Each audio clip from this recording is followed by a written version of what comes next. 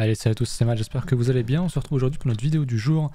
On voit qu'on a un petit peu de, verre, un peu de vert aujourd'hui, pardon, ça fait quand même du bien. On va voir euh, les charts tout à l'heure, c'est quand même pas trop mal. On réintègre un niveau comme vous l'avez vu sur la miniature. Sur Bitcoin, pour l'instant, il faut rester quand même prudent, on verra ça juste après. On va y avoir quelques alts, bien sûr, mais avant ça, on va faire un rapide point sur Twitter parce qu'il y a quand même quelques trucs à dire. On a euh, quelques petites news que je voulais vous montrer, que j'ai parlé en stream. Mais on a euh, Forbes, assez étonnamment, qui fait énormément de FUD sur, euh, sur CZ et Binance en, le comparant euh, assez vachement à FTX en disant qu'ils utilisent les mêmes, les mêmes manières de faire que FTX, que, pardon, que Binance se sert de l'argent de ses clients pour, pour faire du business alors que pas du tout. CZ se entre guillemets moque d'eux en disant que je pense qu'ils comprennent juste pas comment fonctionne un exchange, ce qui n'est pas impossible, mais sans fondement.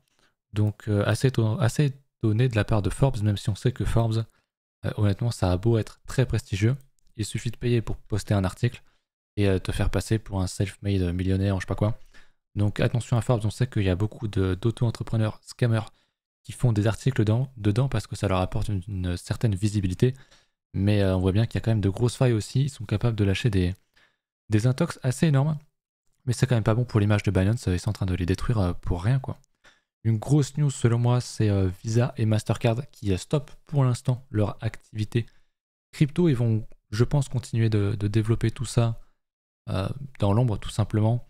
Ils ont eu peur à cause bah, de la pression médiatique avec la chute de FTX, de Luna, d'un peu toutes les sociétés. Et en plus de ça, la réglementation qui, qui s'accroît. Donc ils vont prendre, pas une pause je pense, mais ils vont prendre une pause médiatique là-dessus. Ils vont pas trop communiquer là-dessus, sur la crypto. Ils ont quand même parlé du fait que bah, je vais prendre la discussion en entier, euh, qui voyaient toujours un certain intérêt dans la crypto, dans la blockchain, euh, qu'ils allaient euh, continuellement s'y intéresser. Voilà, ils parlent de, de la technologie blockchain, de, la manière dont elle peut être apportée, dont elle, enfin, de ce qu'elle peut aider pour aider à résoudre des problèmes actuels et à construire des systèmes plus efficaces. Donc ils sont toujours dedans, mais je pense qu'ils seront plus discrets, ils vont attendre un an ou deux qu'on soit plus en bear market, que l'affaire FTX soit oubliée. Et puis je pense qu'ils vont recommuniquer à nouveau dessus. Autre grosse news, on l'avait pas trop entendu parler, les Américains parlaient de, CBDC. Donc euh, enfin ils en parlent. Donc a priori ça devrait se faire. Pour eux c'est une manière de protéger la sécurité nationale en évinçant l'écosystème des cryptos. Ça veut un, peu tout et rien dire, mais du coup ils vont, euh, ils devraient s'y intéresser. C'est vrai que c'est assez rare que les Américains prennent du retard sur ce genre de choses. On sait que la Chine euh, s'y est mise il y a déjà de nombreuses années la Russie, l'Europe actuellement, et enfin les Américains, même si ça reste un peu euh, officieux pour l'instant.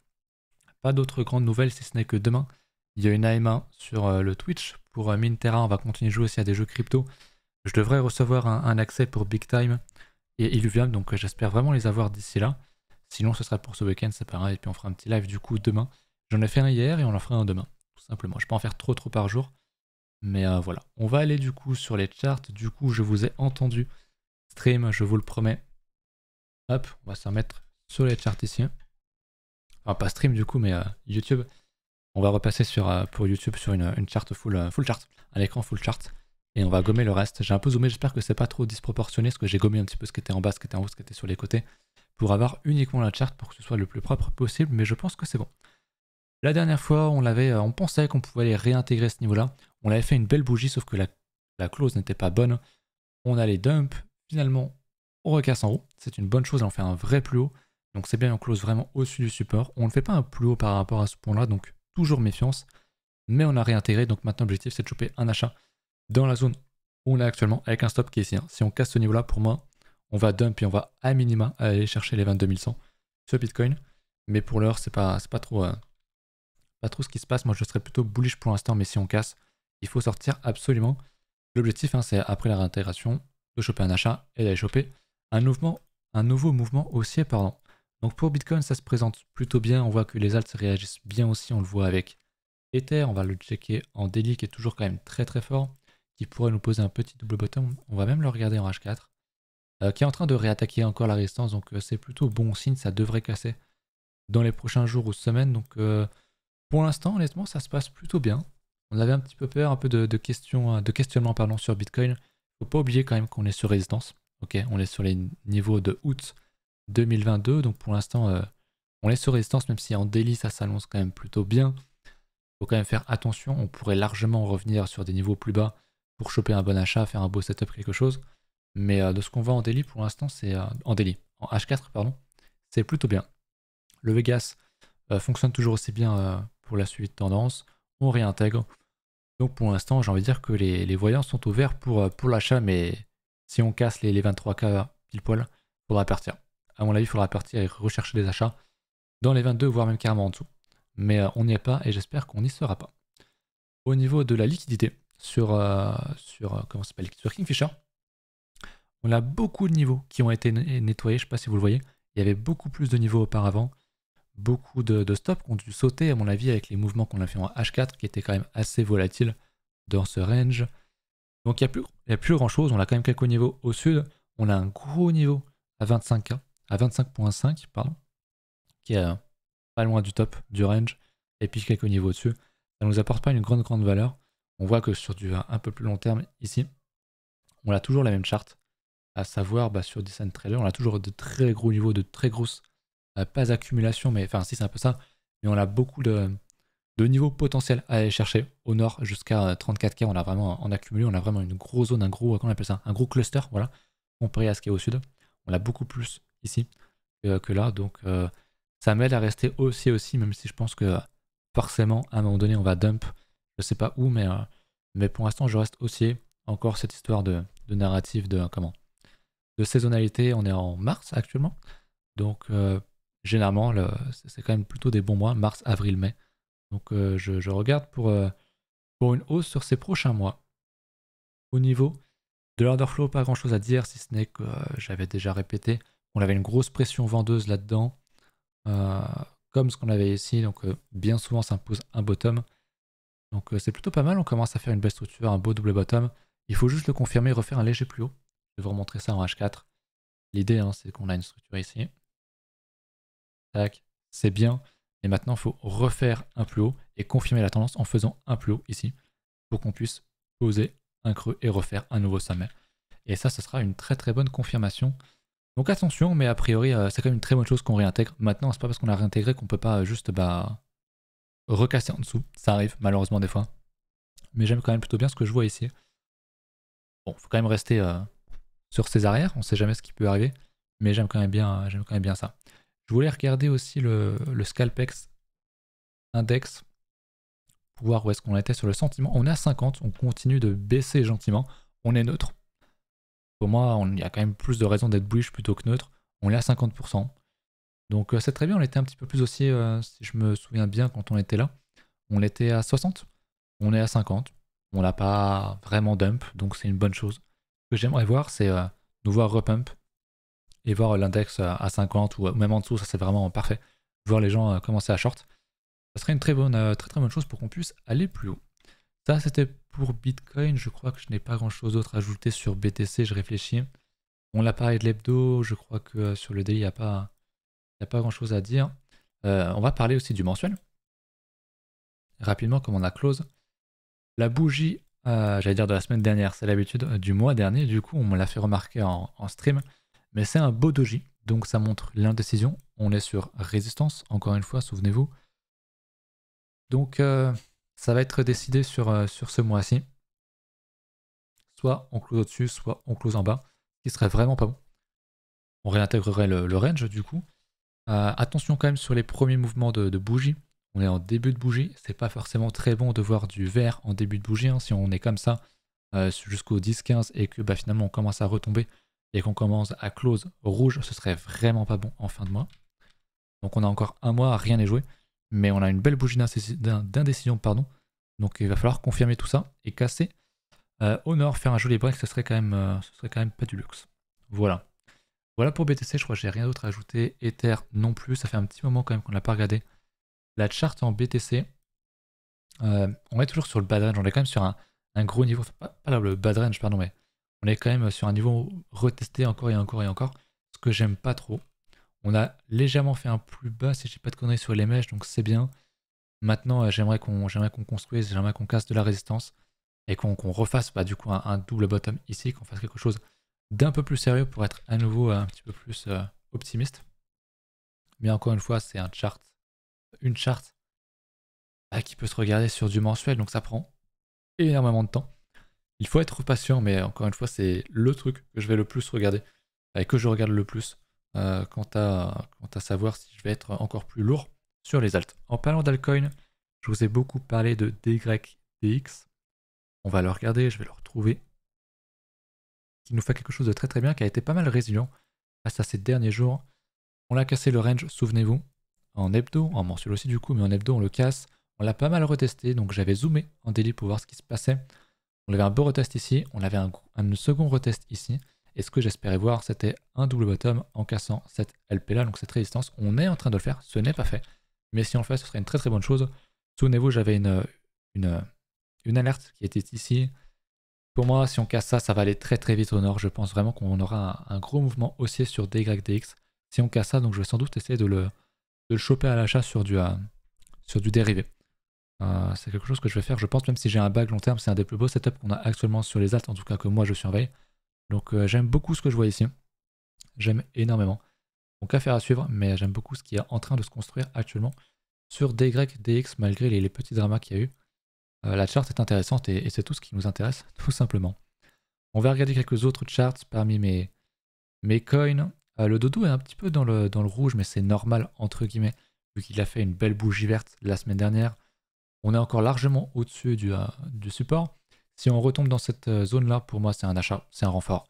Pour ceux qui ne seraient pas dedans, ça peut être un potentiel achat. J'aime beaucoup ce que je vois ici. C'est évidemment pas un conseil, mais euh, la structure est quand même très belle. Nous voir refaire quelque chose là-dedans est quand même très très bon. On va regarder du coup par rapport au top. Je sais pas si c'était le top de la, bulle février là. Mais on a, on encore une bonne target. On pourra aller viser maintenant un peu plus haut, peut-être le 50%. Ça nous ferait un bon R et un bon x8 à aller choper par rapport à, là où j'avais buy. Au cours actuel, ça fait un, x3, donc c'est largement possible. Je vais le supprimer. Donc voilà, la chart, elle est quand même très propre. J'aime beaucoup ce que je vois. Là aussi, on va agrandir tout ça. jusqu'à la cassure. Et il y a du volume en plus à la cassure. Donc une grosse structure, cassure, validée avec un volume, c'est quand même quelque chose de, très très strong. Donc, euh, donc j'aime bien, c'est un des plus beaux euh, graphes aussi que j'ai sous les yeux. Ces derniers temps, j'aime beaucoup DYDX, on en a parlé. Le fils euh, se rattaque à la résistance, c'est bien. Qu'est-ce qu'on avait d'autre euh, Qui était intéressant, le ILV. J'en avais parlé en stream, j'ai swap mais AXS pour ILV. Simplement par conviction personnelle, je pense que, ILV a plus de potentiel. J'aime bien ce qu'on construit. Je ne l'aurais pas repris ici du coup, mais je suis prêt à en racheter si on retombe là-dedans. Euh, je vous en parlais de ces niveaux, je reconsoliderai avec grand plaisir si on y va. Sans aucun problème, on pourrait du coup constituer ici un, petit double bottom. Ce serait très bien. Affaire à suivre, c'est pas fait, mais euh, j'aime bien ce que je vois ici aussi. Le Rennes, toujours aussi strong. On en parlait en hebdo, qui avait un beau setup, malgré qu'on ait un V-bottom ici. On a une très belle résistance qui est sur le point de, de break. On avait racheté le retest ici, donc euh, assez content. Pour l'instant, ça se passe euh, plutôt bien, ça se découpe plutôt bien sur les alts. Il y a vraiment, on a vraiment une grosse pression à l'achat on voit qu'on attaque quand même beaucoup les résistances. Donc ça va pas toujours casser, mais euh, c'est plutôt, euh, plutôt pas mal pour, euh, pour la suite. RLC comme un petit peu DYDX, hein, qu'on avait cassé une belle, un beau niveau. Et derrière, bah, on l'a retesté, mais en, congestionnant pas mal dessus parce que Bitcoin tombe et, et qui drive le market. Donc on a un petit peu la même structure que DYDX, mais en retard pour l'instant. On pourrait faire ça. Et si on valide ça, pour moi, RLC aura aussi un momentum aussi assez important. Donc affaire à suivre. J'aime beaucoup ce qu'on fait en daily. En plus, on avait un, avalement à la, hausse. Donc, euh, de belles choses en perspective ici aussi. Je regarde un petit peu les autres, mais globalement, c'est des choses qu'on a quand même euh, pas trop mal évoquées ici. Le WTC qui a validé aussi, du coup, on en a pas reparlé depuis un petit moment. C'est un des setups que je préfère. Euh, lui et aussi le UFO. On va regarder le UFO si je pense. Mais en gros, tu as un potentiel grand double bottom. Ok? On l'a pas fait, on est encore loin. Mais dans la seconde jambe, en fait un second valide et là tu as un bon achat. Et c'est exactement ce qu'on est en train de faire. Donc j'aime beaucoup. Après, le, le WTC pardon, est un projet qui est quasiment mort, je crois. Donc méfiance, il n'y a pas un grand volume euh, d'accumulation, même si on veut du volume plutôt à la cassure de ce niveau-là. Euh, si euh, par exemple on casse ce niveau-là, il n'y a pas de volume et qu'on réintègre, il faudrait penser à se barrer, je pense. Voilà. Voilà pour WTC. Ah oui, un très beau setup aussi, il y en a plein. J'en ai parlé en stream, c'est Ensure qui est sur le point de sortir son Ensure 2.0 de ce que disent les devs sur, euh, sur Telegram. double bottom potentiel, avec un plus petit ici, je vais l'enlever, avec un plus petit ici qu'on a validé, je vous en parlais depuis un petit moment, avec des bons pics de volume au bottom ici, et à la mini cassure de ce petit double bottom là. Donc c'est plutôt bon. Honnêtement, c'est plutôt bon. Je suis bien content d'avoir d'avoir buy ça. Donc euh, le venture, gros shitcoin, euh, très vraiment risqué, il faut quand même en avoir conscience. Mais j'aime beaucoup ce qu'on a euh, comme potentiel. Le sushi qui casse pas, malheureusement, pas de volume non plus à, l'intérieur du range. C'est un peu dommage, il me fait beaucoup penser au Link. On va regarder le Link, ça fait un petit moment parce qu'on en parle beaucoup. Pareil, il est exactement dans la même situation. Pour l'instant, il ne casse pas. Je pense que ça arrivera un jour. Si on a vraiment un mois de, mars, avril, mai euh, qui, sont, euh, qui, sont à bullish, bon bah ça va suivre sans problème. Je voulais vous montrer le UFO qui est très très beau aussi. C'est quelque chose qu'on m'a fait découvrir en stream. Exactement, vous voyez exactement là où je veux en venir. Je vais redessiner tout ça, mais on a un potentiel, je dis bien, je précise bien et j'insiste bien sur le mot potentiel. Double bottom, comme ça, on ne l'a pas, ok, mais on pourrait être en train de le faire. Et ce que j'aime bien, pourquoi est-ce que je dis qu'on en a un potentiel en plus grand Parce qu'on en a fait un petit ici. Ça a quand même bien drive. On a un beau retest, on est toujours sur des zones intéressantes à acheter et je ne l'ai toujours pas acheté. J'ai beaucoup de tokens. Euh, j'attends d'avoir mes, euh, mes AXS qui étaient, euh, qui étaient en, en ferme, en stacking sur Binance. J'attends qu'ils soient débloqués et je pense que j'achèterai du, du UFO Gaming. Peut-être même d'ailleurs qu'ils sont débloqués, je vais, je regarder ça après la vidéo. Et ça, c'est quelque chose qui m'intéresse. En plus, on a quand même un petit peu de volume, il faudrait le voir sur, sur un échantillon un peu plus, plus large. Est-ce que je vais l'avoir ici, le UFO Est-ce qu'on a plus de... Ouais, on, aurait sans doute beaucoup plus de d'historique ailleurs. Je vais regarder ça, mais je pense pas qu'on ait, ait grand-chose. C'était sur Getio. Il devait être que sur des shitcoins ou sur PancakeSwap, mais j'ai pas envie de voir le volume là-dessus, c'est un peu, un peu biaisé. BitGet, ouais, c'est pareil, c'est assez récent. Il y a quand même du volume de ce qu'on voit ici. Malheureusement, bon là, ça va être là, la cap, donc euh, ça compte pas, il n'y aura pas de, de volume ici, mais j'aime beaucoup ce qu'il euh, promet en termes de chart. Après, c'est encore un truc gaming, je commence à en avoir pas mal, donc va falloir que je fasse attention à, à tout ça. Mais j'avoue que je me suis re-hype à nouveau pour tout ce qui était gaming, jeux vidéo, métaverse, tout ça, même si pour l'instant c'est énormément de merde. On l'a vu en stream, c'est que des jeux qui sont en alpha, en alpha, pardon, en bêta, voire même des jeux démo. Hein. Star Atlas, j'ai eu un accès. Bon, concrètement, c'est une démo, tu peux pas faire grand chose. C'est un jeu qui est extrêmement hypé, mais pour l'instant, il nous fait une Star Citizen pour, ceux, pour les connaisseurs. Au risque de nous faire aussi également une, euh, une No Man's Sky. Donc, il faudrait faire euh, très attention à ça. Mais des jeux comme Big Time, comme, euh, comme Undead Blocks, etc., c'est des jeux qui sont sortis, voilà, sont dans des versions quand même très bêta, mais contrairement à il y a deux ans, on commence enfin à avoir un échantillon de test on peut commencer à s'amuser dessus euh, et, à en profiter. Donc c'est une très bonne chose, surtout qu'on est encore pas forcément en bear market, on est quand même assez bas dans, dans, le cycle. Donc pour moi, c'est maintenant qu'il faut fermer le jeu, essayer de choper des NFT, des tokens selon les jeux, et, et les revendre peut-être dans un an ou deux. Euh, ça, c'est ce que je pense. Évidemment, toujours pas un conseil en investissement, mais c'est mon avis. Et d'ailleurs, on va pas mal farm euh, en stream hein, sur un Big Time. Euh, je devrais l'avoir dans la semaine, donc, euh, donc on va suivre tout ça de près. Tout ce qui est IA, euh, Repet, AGX, on a le BDP aussi, je m'en suis débarrassé, mais c'est pas très grave. J'ai encore du RSC pour jouer sur cette hype là. Je voulais vous montrer un truc. Qu'est-ce qui a pété là en dessous? AMB, le bon vieux AMB, on a traîné pendant je sais pas combien de temps en 2020-2021. Je voulais vous parler d'un truc, c'était quoi déjà? C'était une app qui avait pump ici. Ah, c'était le MKR. On va regarder le MKR. Hop. Est-ce que j'aurais beaucoup de... Oui, c'est bon. Il y a beaucoup de d'historique. Alors là, on a un truc assez... Euh, pas forcément particulier. On voit qu'on a une belle raise. On s'approche d'une belle résistance, donc assez compliqué à acheter. Résistance. On n'a pas de structure, c'est-à-dire qu'on est vraiment en, mode V-bottom. Pas de retracement, on n'a pas eu un grand range euh, comme ça qu'on casse ou quoi. Ou même un simple double bottom, quelque chose. on a vraiment bah, une vague chaque fois on fait de un plus en plus bas, etc. Euh, on div. Par contre, il y a div, il y a double div, il y a triple div, il y a quadruple div. Donc ça div, ça div, ça div, ça div, ça div énormément. C'est très bien. Ce que je vois potentiellement, je viens de me dire ça, peut-être un, comment on appelle ça, un falling wedge là-dedans. On l'a sans doute, un falling wedge, qui est une très bonne euh, figure chartiste. Alors moi j'aimerais bien quand même prendre le, maximum, donc je vais prendre. Comme ceci, on peut y voir un falling wedge, ce qui est très bien, une cassure ici. Pourquoi pas un achat la semaine dernière C'est un peu tard, malheureusement, on a un peu tard. On l'arrête sur résistance, donc ça commence à être compliqué. Mais euh, ouais, on a quand même des structures hebdomadaires qui sont quand même très longues. On a une structure hebdo depuis, euh, depuis juin. ça fait quasiment un an. Donc quelques mois, ça fait quasiment un an sur un gros retest de l'ancien bottom en 2020. Franchement, les altes, je le redis, mais elles font des, des, des, bah, structures de d'action, de stocks. Ok, c'est ça qu'il faut comprendre. On n'est plus sur de la pure shit connerie. Il y en a encore beaucoup en crypto, bien sûr, mais on a des ranges, on a une maturation sur plusieurs semaines, sur plusieurs mois. c'est nouveau dans la crypto. Ça montre le sérieux, ça montre qu'il y a des gens qui sont intéressés. Quand tu vois je reprends le, meilleur exemple pour moi, euh, parce que c'est un des plus beaux, euh, des plus beaux que j'ai vu jusqu'à présent. Je me suis trompé de, D, pardon. Quand tu vois un DYDX avec énormément de volume, avec du volume à la cassure, un range parfait, une belle structure, un, bon, on pourrait voir un double bottom, pour moi c'est plus un, range qui casse avec du volume et tout. Euh, on est dans, ce niveau-là depuis, depuis mai de l'année dernière c'est quelque chose qu'on n'a jamais fait en crypto, à part sur Bitcoin, Ether, LTC et deux, trois autres trucs, mais globalement, c'est quelque chose de très nouveau pour une alt qui est quand même très nouvelle. Euh, DX, euh, c'est quand même très récent. Et c'est pas une. Euh, il n'est pas dans le top dans le top 10 quoi. Donc euh, moi j'y vois vraiment une maturité, je vois vraiment un grand changement dans l'écosystème crypto là-dessus. Ça se voit qu'il y a des instits, ça se voit qu'on veut accumuler, ça se voit tout ça. Ça se voit vraiment. Donc bah, je veux en être, et je pense que vous aussi.